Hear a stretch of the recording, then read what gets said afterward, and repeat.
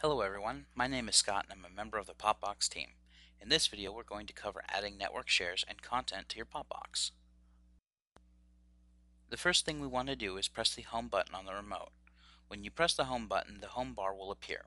This is how you navigate between your media library, the App Center, search, and settings. For now we'll go over to settings on the far right.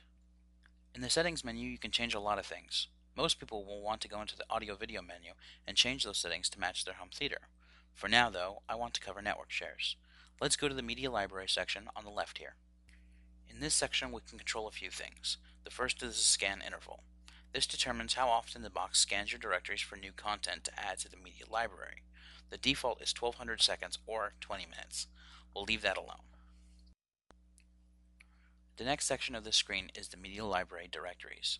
When we use the term media library, we're talking about all your content that you have allowed the box to scan and download information for.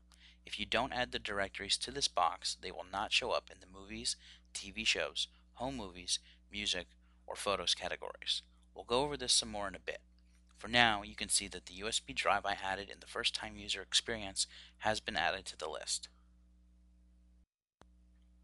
This next area is where you add network shares. If you store your content on a computer, a network attached storage device, or a server, then this is where you add them. We'll go ahead and add a couple of shares now to demonstrate the process. Please note that you will need to set up the shares on your computer, which will not be covered in this video. We have created some simple walkthrough guides and posted them on the support section of our website. Please refer to them if you need any help with setting up your computer. To add a share, we'll go ahead and select the Add Network Shares button. There are two ways to add a network share. The first is to use the network browser. We'll go ahead and select the network browser button now.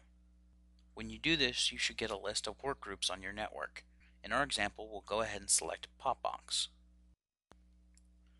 Depending on how your shares are set up, you might not see your storage device listed here. Luckily for us, our NAS is listed, so I will go ahead and highlight it and then press the right arrow. This brings us to a list of shares on the device.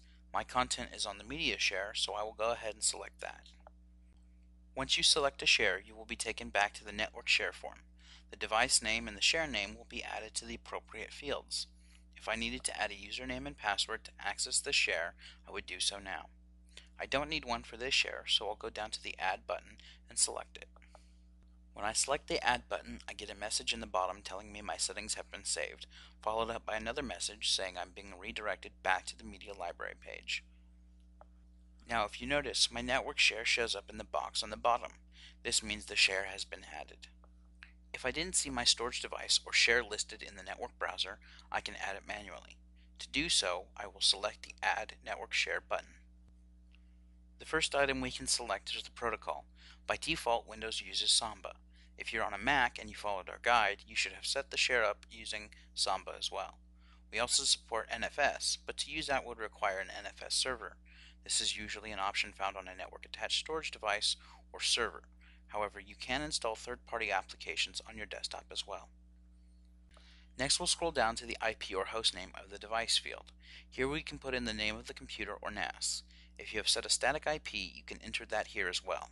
My computer is Scott T61. This next field is the share name. On a Mac, it's the same name as the folder, so no confusion there.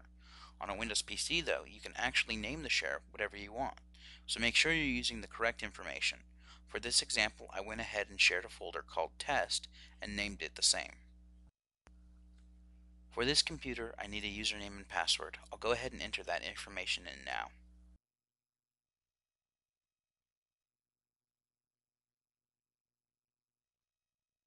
Now just go down and select the Add button. Again, you'll see the Save Confirmation and Redirect dialogues.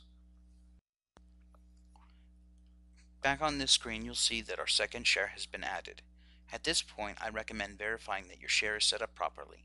You can do this by pressing the Home button and going to Media Library on the left.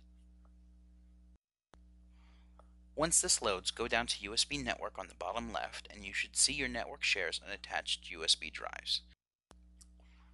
If we select Scott T61 Test, we should get a list of files that are in the share. If you see a message saying no content found, then there's either a typo in the information you entered or you have a security issue blocking access to your share. recheck your security settings on your computer and try deleting and re-adding the share again. Since we verified that the share is indeed working, we'll go ahead and add this to our media library. So let's go back to settings and then to the media library section. Now we select the add media button. A list will come up showing us all of our USB drives and network shares. You can select the entire entry or browse into a specific folder. Once you select the folder, you will see it added to the list. The scanner will now read the file names and go out to the internet to pull cover art and metadata for the best possible matches on IMDb. That covers adding network shares and content to your media library. Thanks for your time.